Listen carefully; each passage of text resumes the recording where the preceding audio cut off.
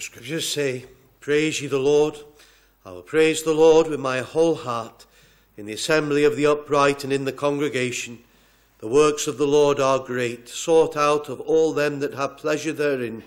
His work is honourable and glorious, and his righteousness endureth for ever. He hath made his wonderful works to be remembered. The Lord is gracious and full of compassion. Let us come before the throne of grace together. Let us pray. Almighty God and our loving, gracious Heavenly Father, we do thank Thee and praise Thee for another opportunity to come into Thy holy and glorious presence. And, O Lord, we know that Thou art worthy to receive blessing and honour and glory and power, for Thou hast created all things, and for Thy pleasure and praise they are and were created. And we worship Thee, the one who made heaven and earth, and everything in them. Thou didst speak, and it was so. Thou hast commanded, and it stood firm. Thou art indeed a great and mighty God. And we will come this night acknowledging our great need of Thee, our sin before Thee, and we will plead that we might know what it is to find mercy in Thy sight. And we plead only the merit and shed blood of the Lord Jesus Christ, the one who is the new and living way, and how we praise Thee and thank Thee for Him. And Lord, on this Thy day, give us all Thy special help in our worship of Thee be with us as we gather together as a company of thy people. For, Lord, if thy presence does not go up with us, then surely, O Lord, we come in vain. Give us grace, O God, to draw near to thee with singleness of heart and full assurance of faith. We ask that thou wouldst meet us with thy blessing. Be present in the midst of thy people.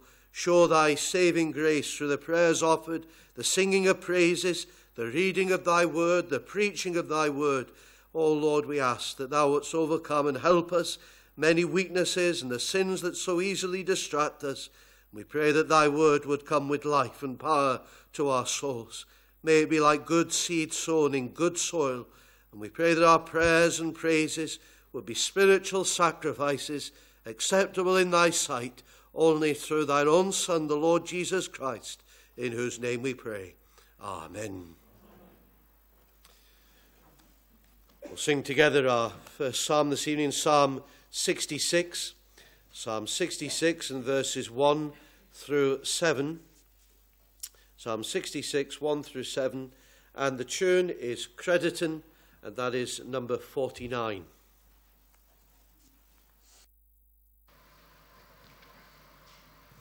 O lands to God in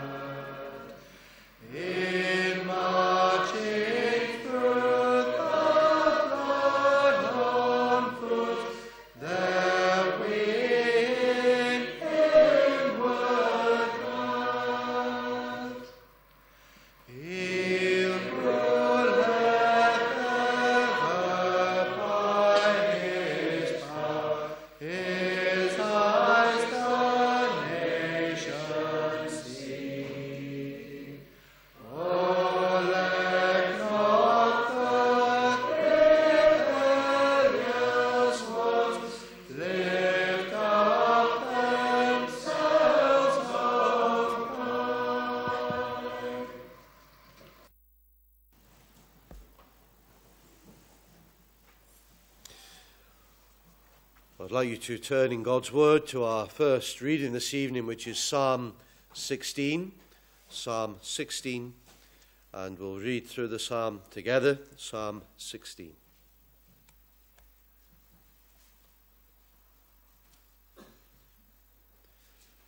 Preserve me, O God, for in thee do I put my trust. O my soul, thou hast said unto the Lord, Thou art my Lord. My goodness extendeth not to thee, but to the saints that are in the earth, and to the excellent in whom is all my delight. Their sorrows shall be multiplied that hasten after another God. Their drink offerings of blood will I not offer, nor take up their names into my lips. The Lord is the portion of mine inheritance and of my cup. Thou maintainest my lot. The lines are fallen unto me in pleasant places. Yea, I have a goodly heritage. I will bless the Lord, who hath given me counsel. My reins also instruct me in the night seasons. I have set the Lord always before me. Because he is at my right hand, I shall not be moved. Therefore my heart is glad, and my glory rejoiceth. My flesh also shall rest in hope. For thou wilt not leave my soul in hell, neither wilt thou suffer thine Holy One to see corruption. Thou wilt show me the path of life. In thy presence is fullness of joy. At thy right hand there are pleasures for evermore. Amen. Well, let us sing together again, and this time Psalm 119, and we'll sing from verse 41 through verse 48. Psalm 119, beginning at verse 41, and the tune is Kilmarnock, which is number 75.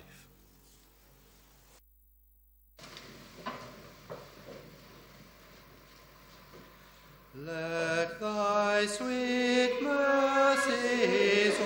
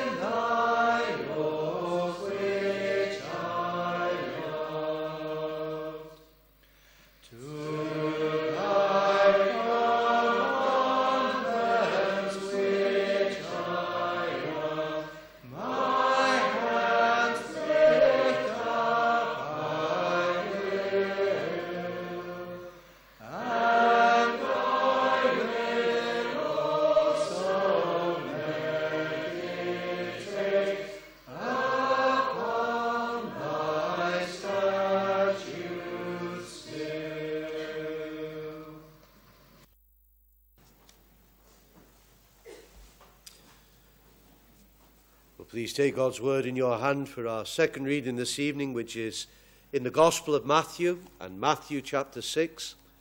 Matthew chapter 6. And we shall read the whole of the chapter together. Matthew 6.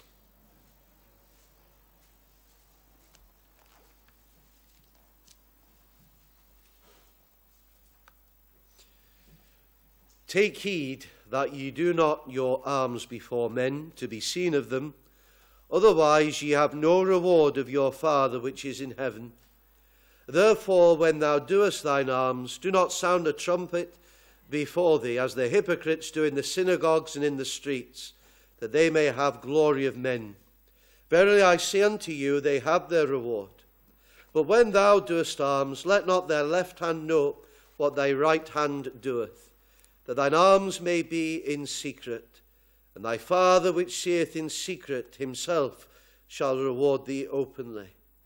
And when thou prayest, thou shalt not be as the hypocrites are, for they love to pray standing in the synagogues and in the corners of the streets, that they may be seen of men. Verily I say unto you, they have their reward.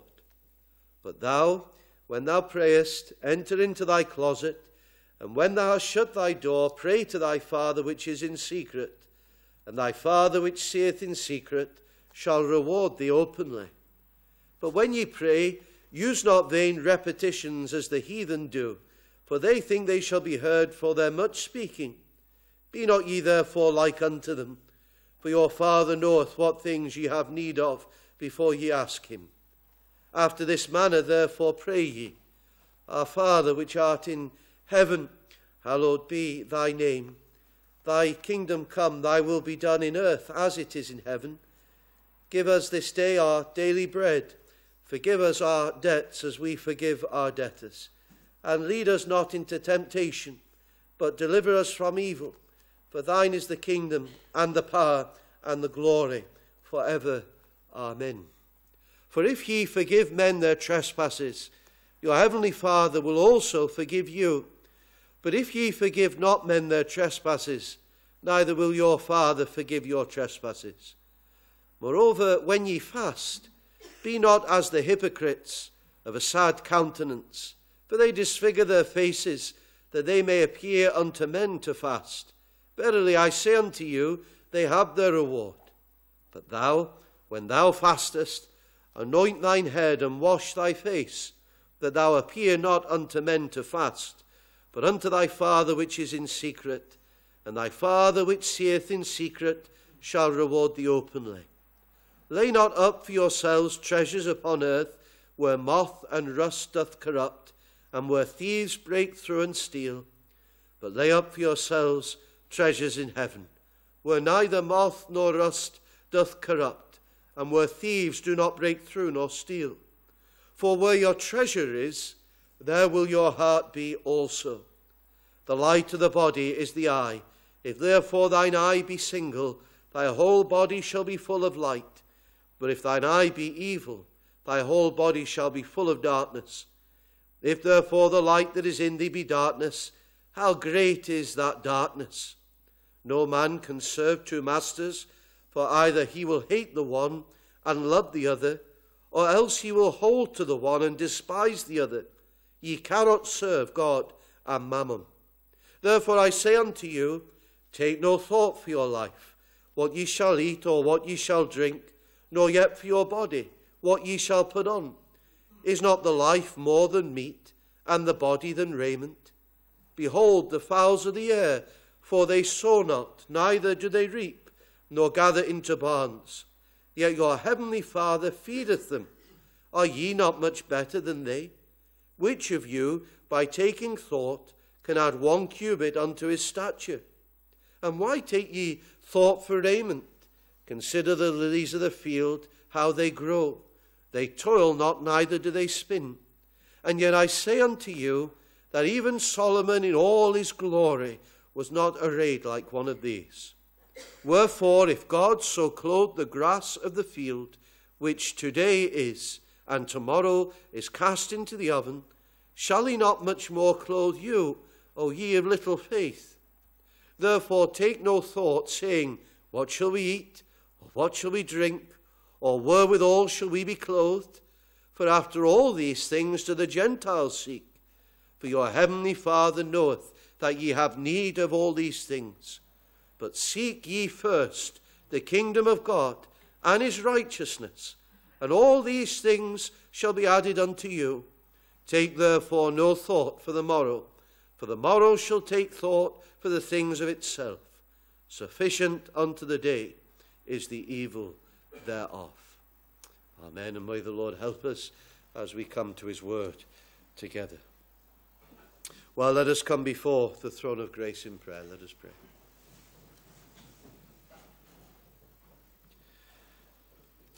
Almighty God and our loving, gracious Heavenly Father, we do thank Thee and praise Thee once again for this glorious privilege of being able to commune with You and to call upon Thee, our Heavenly Father.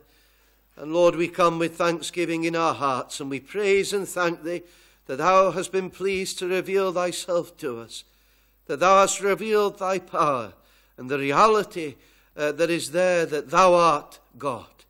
And Lord, we will be still before Thee and know indeed that thou art the Lord. And Lord, we thank thee that thou hast revealed thyself in creation, but thou hast also revealed thyself to us, the mighty revelation of the Word of God, so that we may not doubt thine own existence or thy character, thine attributes or purposes or desires. Thou hast spoken in such a manner that we can come before thee with great assurance and resting on thy promises. And yet, Lord, we thank thee and we praise thee that thou hast most wonderfully revealed thyself to us in the person of thy Son, the Lord Jesus Christ. We thank thee that in him dwells all the fullness of the Godhead bodily. And we thank thee that he has come, and that in him we find wonderful pardoning love, free forgiveness, and life everlasting. And we thank thee for thy sustaining hand in our lives and how thou, thou hast given us this time again on thy day to draw near to hear thy word, to consider eternity, to consider our souls. O Lord, who are we that thou shouldst think upon us?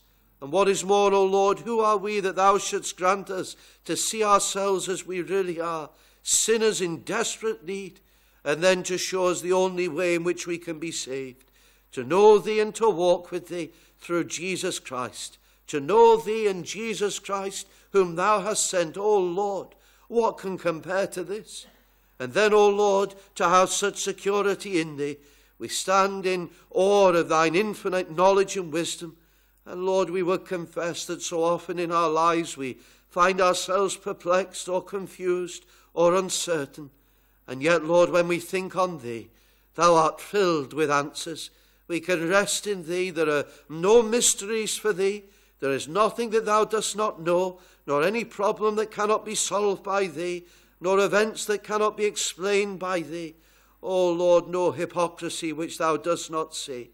O Lord, we pray that thou would grant us to see thine omniscience, thine all knowing mind, together with thy power and grace.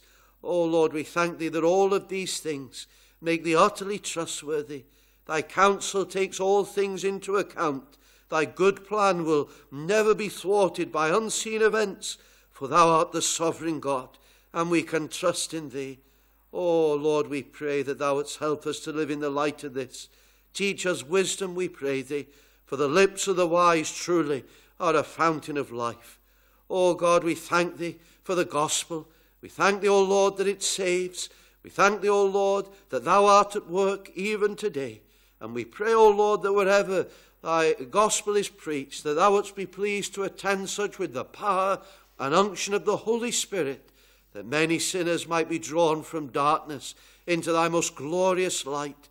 O Lord, we pray that thou wouldst be pleased to do the work which only thou canst do, that thou wouldst intervene and save those who are lost and dead in sin, and that thou wouldst be pleased to pour out thy Spirit once again that, Lord, in, even in this land which deserves nothing from thee, that we might see a great turning unto thee. Oh, Lord, we thank thee that we are not without hope. We thank thee for every token of blessing which testifies to thine hand being at work. And Lord, we pray that thou wouldst be pleased to extend such even in this day and age. Oh Lord, wouldst thou not come? Wouldst thou not rend the heavens and come down? and begin even with us this night, O God, we pray. And Lord, if there are those here this night who do not know thee, O Lord, wouldst thou be pleased to have mercy upon them, to open blind eyes and unstop deaf ears, the Lord, that thou wouldst grant to them life and life everlasting in the Lord Jesus Christ. And Lord, I do thank thee and praise thee once again for this place and for this company of thy people here. O Lord, wouldst thou lavish thy blessing upon them, every gospel endeavour. O Lord, wouldst thou be pleased to come and own such, that, Lord, this might be indeed a refuge for those outside, those without Christ, without hope in this world and in the one to come. O Lord, please, we pray, hear our cries. And Lord, for thy servant who ministers here, we thank thee for him and for his wife. And Lord, we pray that thou wouldst uphold them and bless them richly, all the uh, prospective plans and that which is there. Oh God, do be pleased to go before and attend such with thine own blessing. Hear us then, we pray. Point us to thine own Son, the Lord Jesus Christ. And we ask all of these things now in and through his all prevailing name. Amen. Let us sing together again, in this time Psalm 107, and we'll sing from verse 1 through verse 9. The tune is Naomi, and the tune number is 213.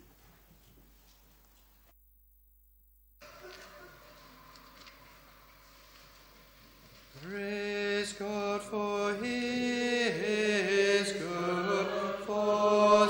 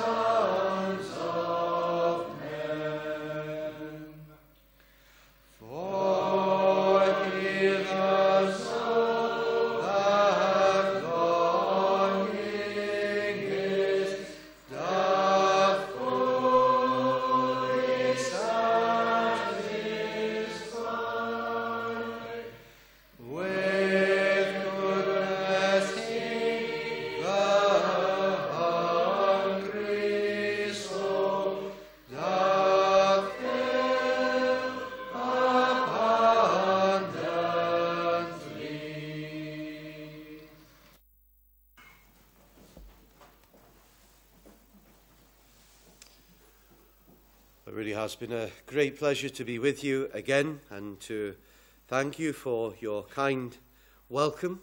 And uh, do please be assured, as I mentioned this morning, we do pray for you regularly in the endeavours of this place and pray that the Lord will be pleased to honour the faithful ministry of his word and faithful gospel witness in this part of our country. I'd like our text to be this evening Matthew 6 and verse 33, a very well known text. But seek ye first the kingdom of God and his righteousness, and all these things shall be added unto you. And really, at the end of this chapter in our text, the Lord Jesus Christ is drawing together all the various elements of his teaching that he has been preaching in what many call the Sermon on the Mount. And the Lord has given a clear view of the nature of his kingdom, his purpose in this world, and what he was proposing to accomplish. Now, you remember that when our Lord began his public ministry, he, the king, announced the fact that the kingdom had come, and that demanded a response. For example, Mark 1, verses 14 to 15. Now, after that, John was put in prison Jesus came into Galilee preaching the gospel of the kingdom of God and saying, The time is fulfilled, the kingdom of God is at hand, repent ye and believe the gospel. You know, we live in a day and age when there is great confusion about what Christianity really is. There seems to be so many mixed messages that are sent out to the man, to the woman, to the people on the street, very little idea about what the true gospel is. And so often thoughts are formulated based on what is seen in the media or what is presented as Christianity. And so there's much prejudice and misconception. And even in the so called church, there is great confusion about the gospel. And if you listen to the papers and the popular books and the blogs to the version of Christianity, confusion reigns. But, friend, we're not turning to sources like that this evening. We come to the authoritative Word of God. And, friends, we know nothing about the Lord Jesus Christ apart from what we're told here. Everything else is just conjecture and supposition. We must go back to the Scriptures. We must go back to Christ Himself. And here we have, in His own terms, the clear and unmistakable nature of His message. It tells us what the gospel is and how vital it is for us. And so, what do we find here? Well, a number of points for us to consider. And the first thing is this that the gospel is entirely different from everything that appeared before, it is different from everything that men and women believe by nature.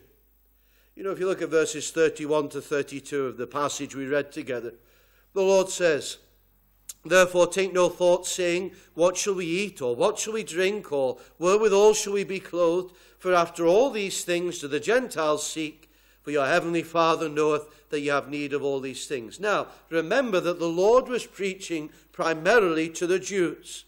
And they had the Old Testament and they regarded themselves as the people of God. And so they had some concern about God and, and things like righteousness. And for them, the world was divided into two categories you had the Jew and you had the Gentile. You had those who they thought had true religion and those who did not. You know, it's a bit of a helpful illustration even today. You know, this idea of the Gentiles, those who don't know the revelation, who live as though God does not exist, as though God has not revealed himself. And the point that the Lord is making here is this that what he is teaching is totally different from the view of the Gentiles. It is totally different from anything that the world can bring. And we must never forget that. You see, the true Christian position, the true gospel, the true Christian life isn't just a, a slightly different version of what other people are about. It is something so different, so unique, it stands alone, it stands apart. It's vital that we understand that. You know that the gospel stands apart. It is utterly different. And one of the reasons why it is utterly different, secondly, is this that the gospel points out that men and women are as they are by nature because of something that is deep and radically wrong. There is a major, major issue. And our Lord says, But seek ye first. And he is challenging all of his listeners. He's challenging you tonight. Where is the emphasis in your life? What is the first thing to you? He is concerned that you see what the true first thing should be. You know, if you speak with people, there are men who seem to think that what Christianity does is it points out just some of the, the minor flaws, you know? Minor flaws in man. That generally, man is, is good deep down. And uh, what he needs, he just needs a, a few pointers so he can iron out some of the flaws, but, but nothing too radical, you know? Just add a, a bit of religion, maybe start doing certain things, lay off some other things, but really nothing profoundly different, just a, a bit of surface work, no essential change. But the Lord says a message like that has got nothing to do with what He is preaching, what He is teaching, His message or His kingdom. And the Saviour in His ministry used certain words constantly. And in our text, it is first. What is first in your life? If it is something other than what He has laid out, then there is something radically wrong. He says, verse 21 For where your treasure is, there will your heart be also. And he says very clearly in his teaching, he is ultimately saying this Look, my teaching is coming to deal with your heart. And that makes it different from everything else. It applies to your heart. The heart, as in the spiritual, the very center of you, the center of your life and being. It's not just surface level.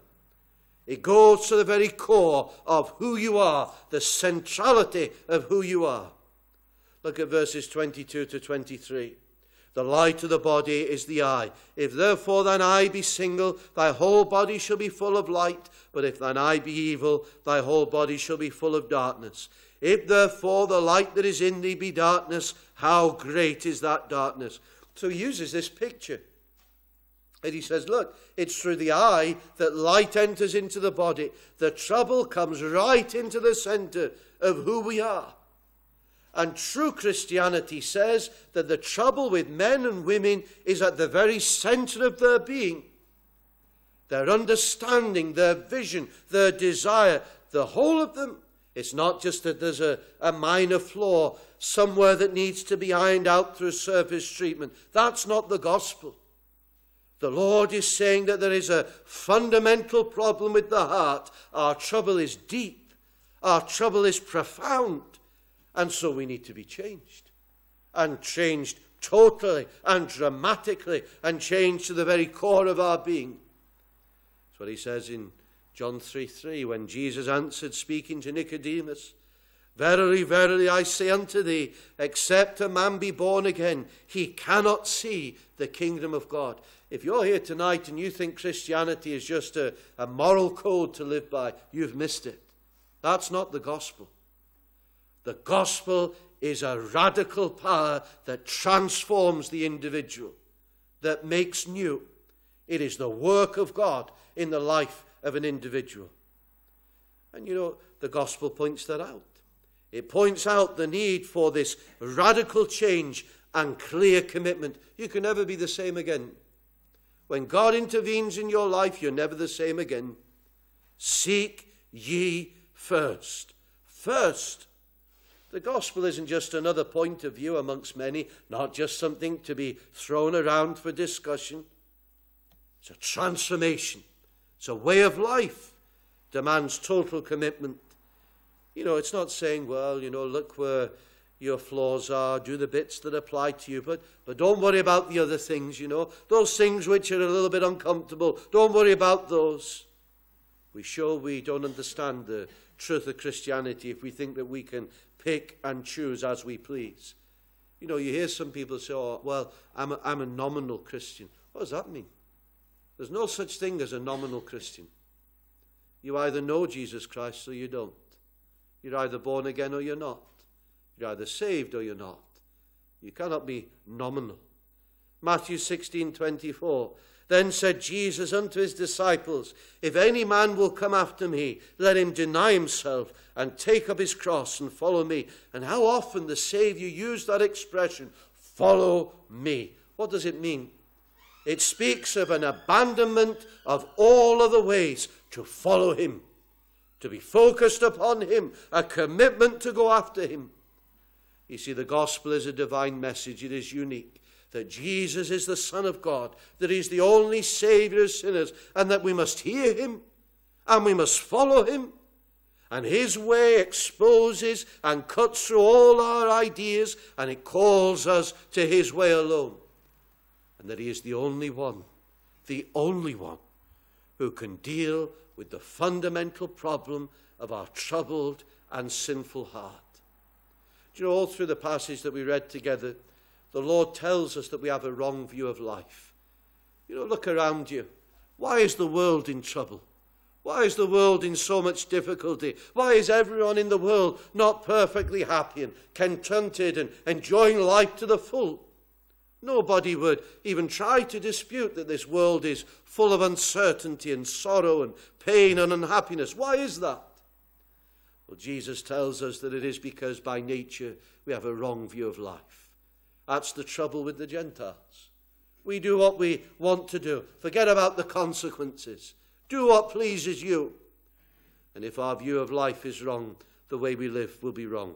That's the point again of verse 23. If thine eye be evil, the whole body shall be full of darkness. If the focus is wrong, what then will be right? You know, you can tell a lot about a person when you look at their priorities in their life. Because for all the rhetoric, maybe for all the excuses, what we prioritize shows where our heart really is. So let me ask you tonight what are the things that you hold on to? Your priorities proclaim what you treasure. And by nature, we always put the wrong things first. And that's why people in this world, they have no time for God.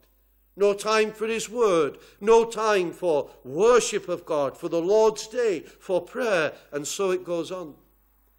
By the way, it's a very sad thing when that is found amongst the Lord's people too.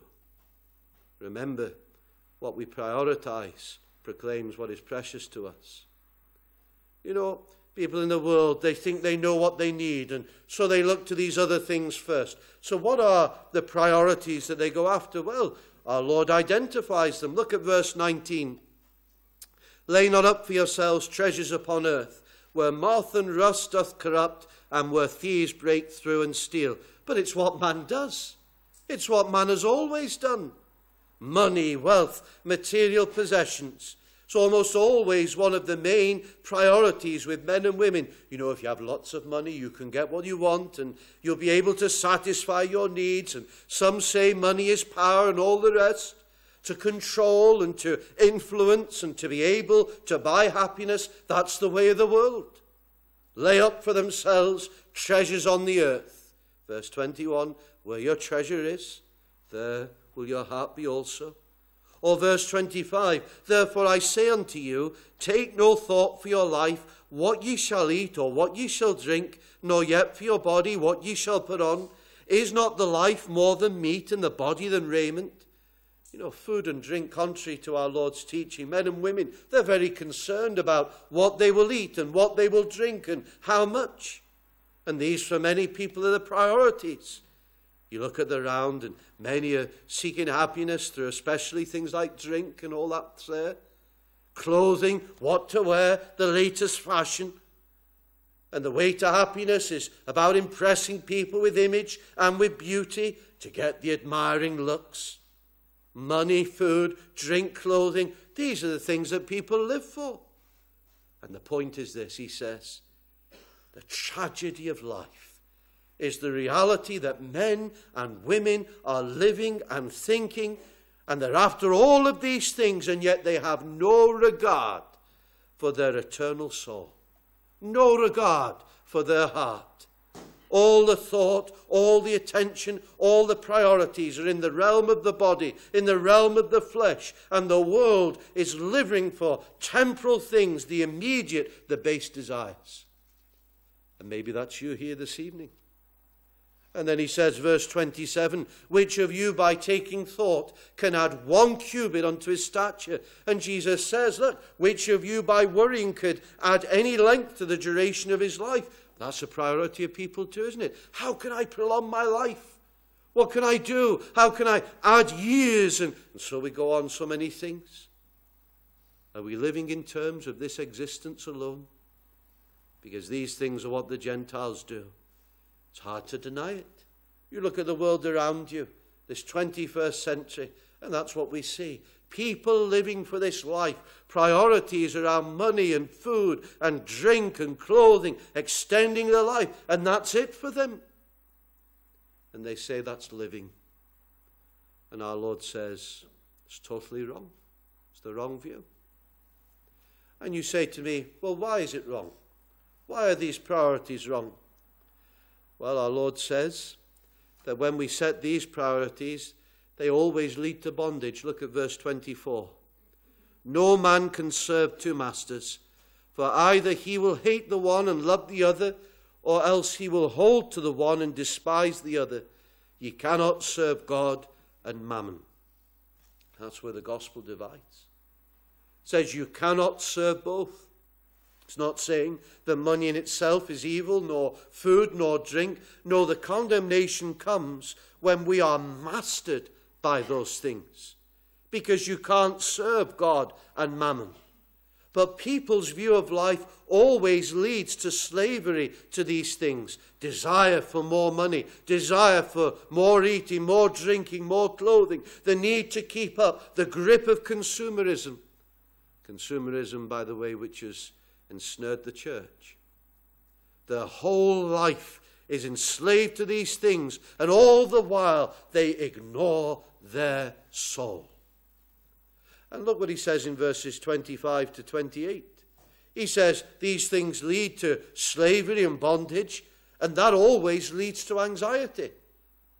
He says, I say unto you, take no thought for your life, what ye shall eat or what ye shall drink, nor yet for your body what ye shall put on. Is not the life more than meat, and the body than raiment? Behold the fowls of the air, for they sow not, neither do they reap, nor gather into barns, yet your heavenly Father feedeth them. Are ye not much better than they? And why take ye thought for raiment? Consider the lilies of the field, how they grow. They toil not, neither do they spin. But you see people who live for these things, and they're anxious, and they're worried, that they might fall behind. They're afraid that they're going to lose what they have and what they've created themselves. And then what will it be? They're terrified if they lose their money or their car or their wardrobe or all the rest. All the while, anxiety. And we live, don't we, in an apparent age of affluence and wealth. Yet, like never before, it's an age of stress and strain and complex and tension. It's inevitable. And it bears out the truth of what our Saviour is saying, continues to declare even now. You cannot have these things as masters. You cannot live for these things without being enslaved by them. And when you're enslaved to them, you're trapped in anxiety and worry and fear. And so our Lord says, Look, you need to be given a right view of life. You need that transformation. And that is where the but comes in. He says, But don't be like that, but seek ye first. Seek ye first. Here are the true. Here are the eternal priorities. This is the emphasis of our Lord's teaching. In fact, it's the emphasis of the scriptures. What are the things that we should pursue?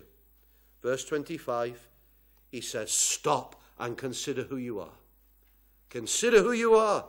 Verse 25 I say unto you, take no thought for your life, what you shall eat, what you shall drink, nor yet for your body, what you shall put on. Is not the life more than meat, the body than raiment? Am I just a body? Or is there something different, something distinct, something more? Am I just flesh? No, you are made with an eternal soul You're not here only to accrue wealth and eat and drink and to live for the body. You're more than that. You have a soul. Eternity is written on your heart. You are made in the image of God. And the Bible tells us that God made us in his image. And we've been endowed with reason and faculties and a soul. And there's something within you that cries out and yearns for more. That's what our Lord says seek first the kingdom of God. You know, that's the priority. But what does he mean? It means that you realize that there is more to life than this, more to life than the externals, more than just this world in which we find ourselves in. There is a sense within me of more, of someone greater. You know, everyone has that sense. They might suppress it, but it's there. You know, it's why you had the Athenians with the altar to the unknown God. It's why you see people trying to cram their lives with so many things to try and quell that yearning. He says, Seek first the kingdom, and we must think on God. You know, He is the creator, He's the sustainer, He's the maker of all things.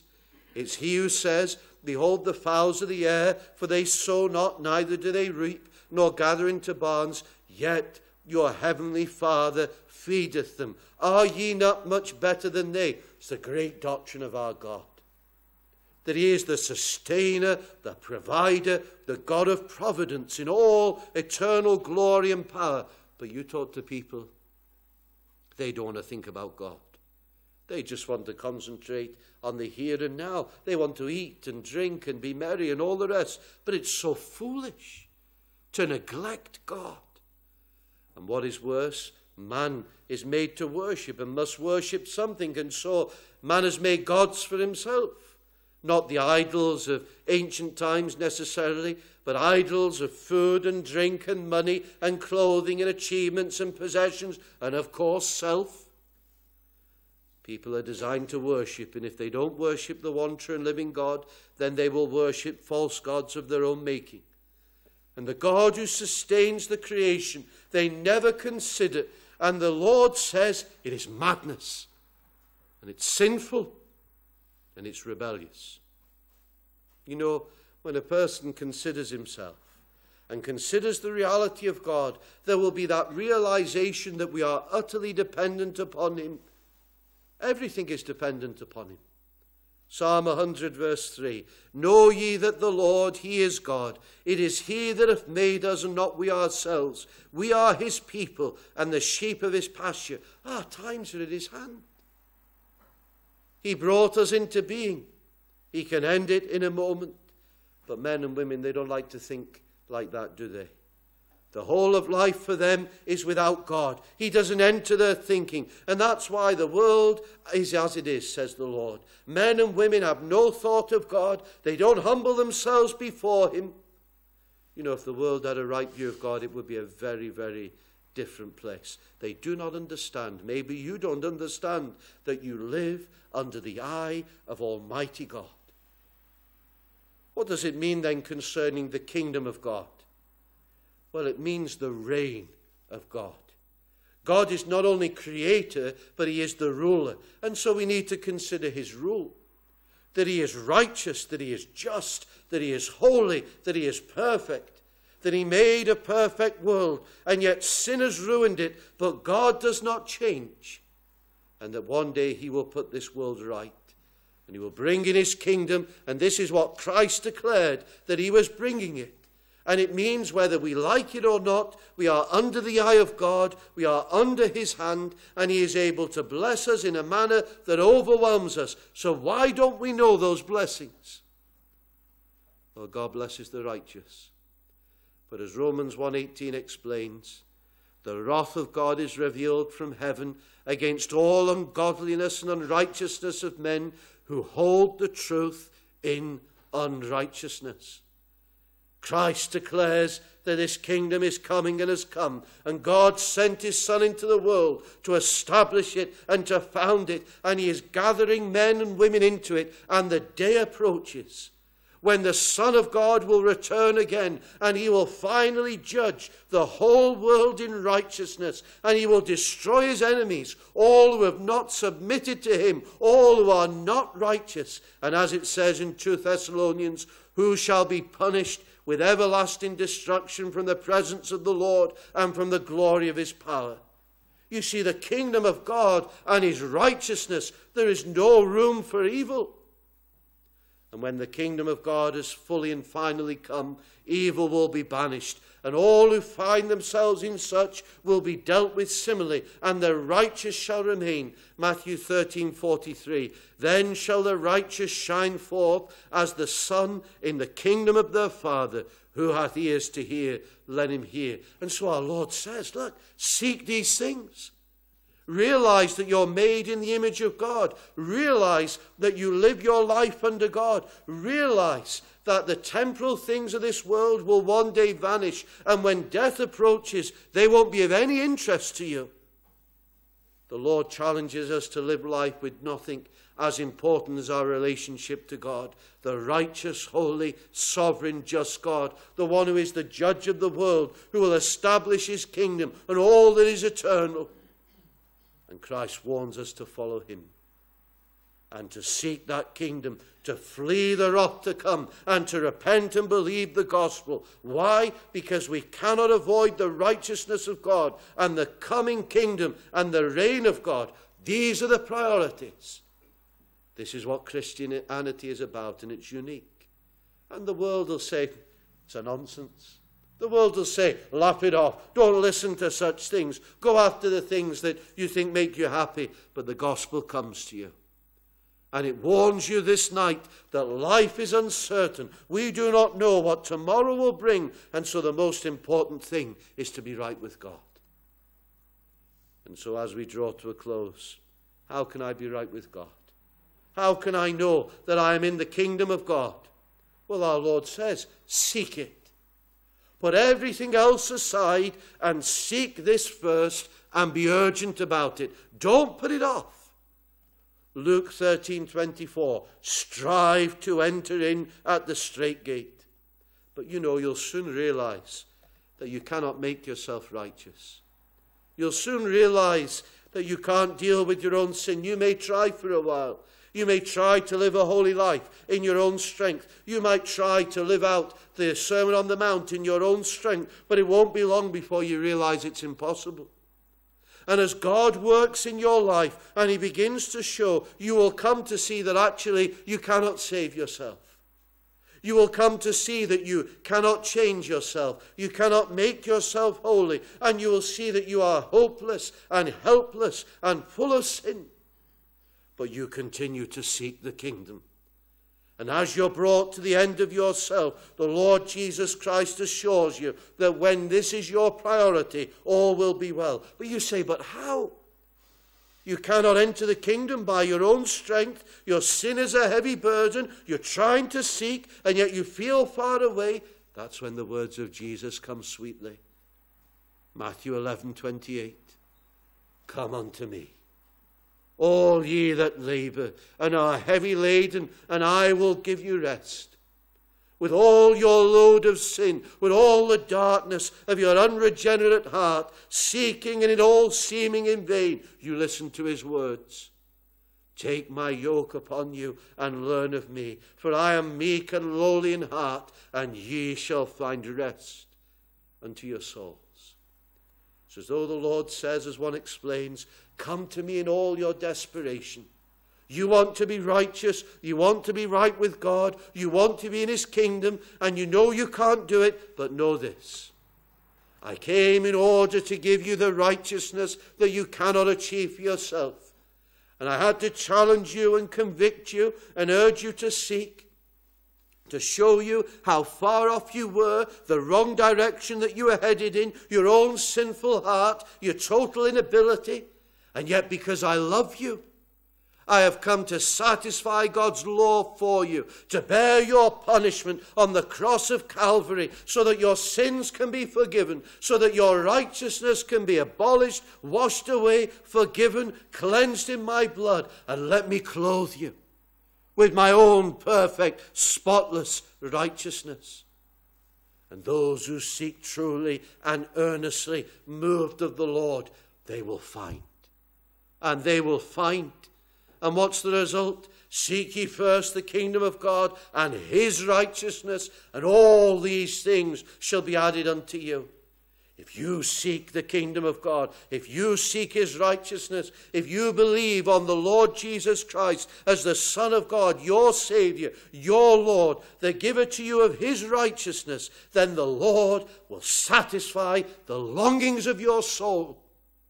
He will satisfy you, and you'll find rest, and you'll know that your sins are forgiven, and they're dealt with, and they're cast into the depths of the sea.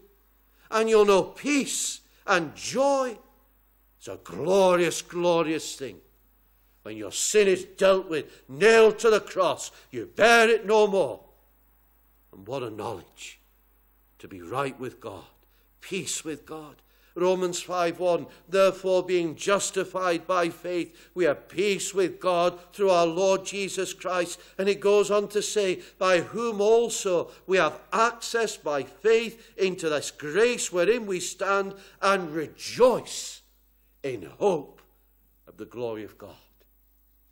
It means that you are given knowledge not only that you are forgiven but that you are a child of God that you are a citizen of the blessed kingdom of God, that God is your Father, and that He loves you with a Father's love. And as we said this morning, He has counted the very hairs on your head, that He is for you, and He loves you, and He will guide you, and He will lead you, and He will take you home. And it means that you will see life no longer with the wrong perspective of the world, but you'll see it with an eternal perspective. And you'll no longer be enslaved to the things of the world. Yes, we have possessions. Yes, we eat. Yes, we drink. We have clothes. We're wise stewards of what the Lord has given to us. But we see things in the light of eternity and we hold them lightly. We don't live for these things. We're now more anxious to know God and to walk with Him. We're more concerned that we are his children than amassing our treasures upon this earth. We're not worried about mixing with all the great and the good and the celebrity and all the rest, but you love to be with the lowest and the least if they're believers. And there's no place that you'd rather be. There's nothing like being in the company of the redeemed. You know, the view of this life is so different. And this world just becomes a pilgrimage to the glory that awaits. We see the sin of this world and it grieves us.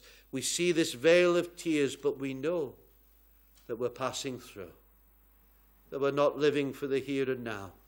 And we say, as Philippians 3 says, our conversation is in heaven from whence also we look for the Saviour, the Lord Jesus Christ, who shall change our vile body, that it may be fashioned like unto his glorious body, according to the working whereby he is able even to subdue all things unto himself. We're strangers and pilgrims in this world, and heaven is our home.